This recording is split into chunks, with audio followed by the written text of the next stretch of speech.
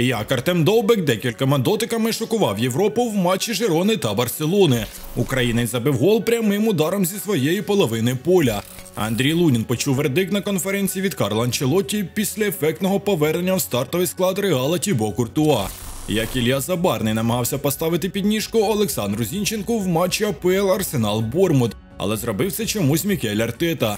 Футболіста Динамо Київ офіційно виключили з команди через порушення дисципліни.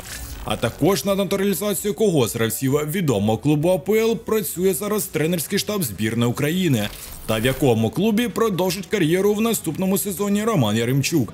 Друзі, але перед початком приділіть трохи уваги і поставте цьому відео лайк та залиште коментар. Адже Ютуб змінив дещо свої алгоритми, і наразі саме так ви краще всього допоможете каналу розвитку і підтримуєте український контент. Всім дякую наперед та приємного перегляду. Марко Ройс оголосив, що покине Борусю після цього сезону. Я неймовірно вдячний і пишаюся цим особливим часом у моєму клубі Борусія Дортмунд. Я провів більше ніж половину свого футбольного життя в цьому клубі. Насолоджувався кожним днем, хоча, звичайно, були складні моменти. Я вже знаю, що мені буде важко прощатися в кінці сезону. І все ж таки радий, що тепер є ясність, і ми можемо повністю сконцентруватися на фінальних іграх, які є дуже важливими, заявив Ройс. Наразі Боруся гарантувала собі місце у лізі чемпіонів на наступний рік і продовжує боротьбу у лізі чемпіонів. А тим часом ПСЖ поніс важкі втрати перед другим півфінальним матчем з Борусією. Розрив хрестів отримав захисник Лукас Ернандес. Найгірше те, що це вже друга подібна травма в кар'єрі француза. І що ще більш страшно, що цього разу вона на робочій лівій нозі футболіста. До цього він рвав праві. Зрозуміло, що Ернандес не зіграє вже на євро. Та й взагалі над його кар'єрою на найвищому рівні повисає велике питання. Роберто Дідзербі шокував Баварію та Манчестер Юнайтед заявою щодо свого майбутнього в наступному сезоні. Ми збираємося поговорити з власником Брайтону Тоні Блумом. Думаю, я хотів би залишитися тут, бо я люблю своїх гравців. Я люблю це місце, свій клуб та вболівальників. На зустрічі з фанатами я сказав: якщо я щасливий, то жоден клуб не зможе змусити мене змінити команду. Але я хочу завжди зберігати свою пристрасть. Наводить слова Дедзербі Sports. Нагадаю, що взимку італієць активно контактував з цілим рядом топ-клубів. Розпочалося це все через невдалу зимову трансферну кампанію Брайтону. Але скоріш за все, зараз менеджер все ж таки отримав гарантії на літнє трансферне вікно. Не знаю, на жаль чи на щастя, але Роман Яремчук з високою вірогідністю покине Валенсію. Брюге відмовився продовжити оренду українця і готовий розглядати лише повноцінний трансфер.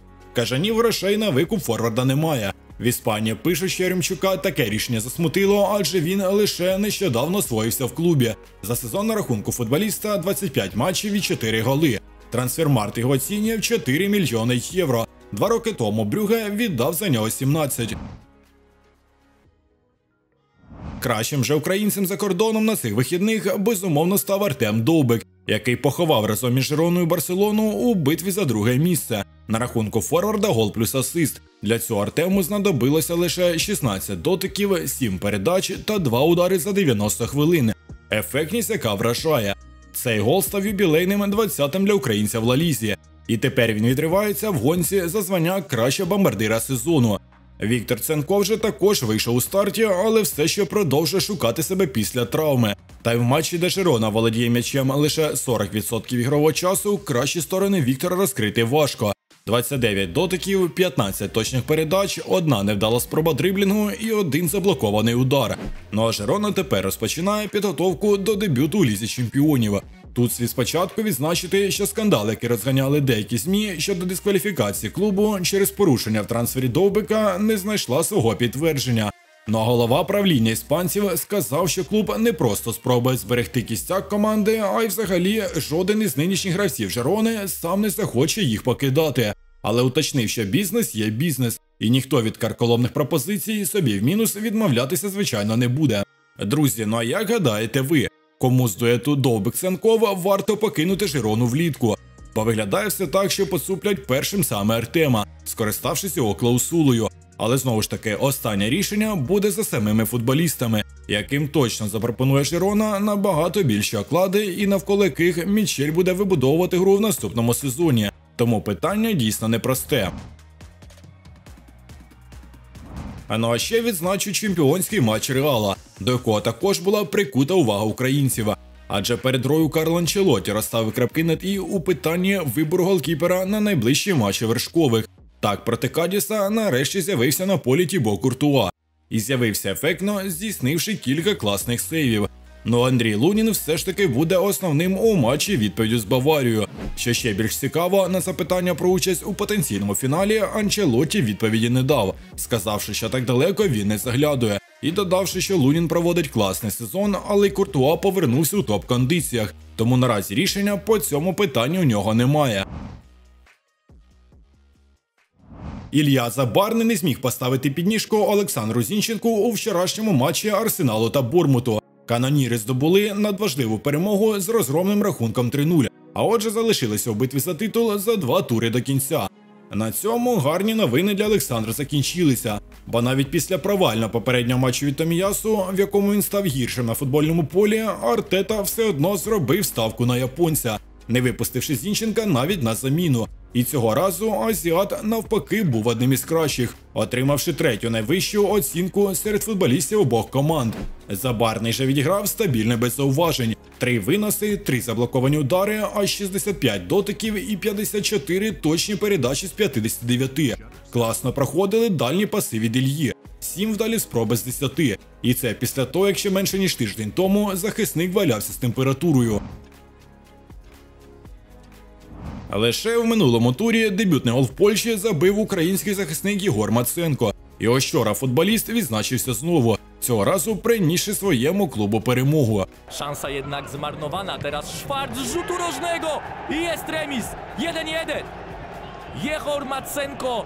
Drugi mecz rzędu z golem i Śląsk będzie tu walczył do końca o trzy punkty, które...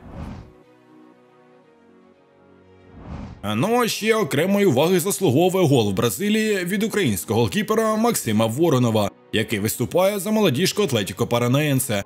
І до речі, мені чомусь здається, що це перший наш співвітчизник в чемпіонаті Бразилії. Якщо помиляюсь, то виправіть мене в коментарях.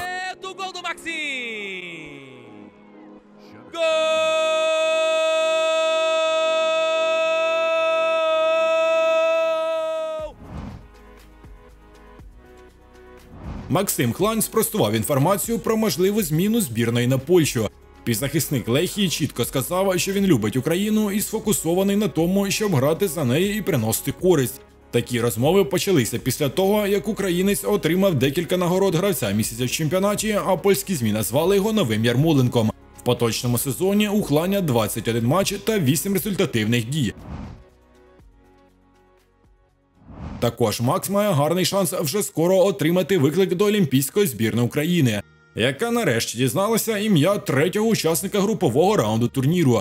Від Європи в групі будемо ми, від Америки Аргентина. Африку представлятиме в нашій групі Марокко. Ну а від Азії буде Ірак.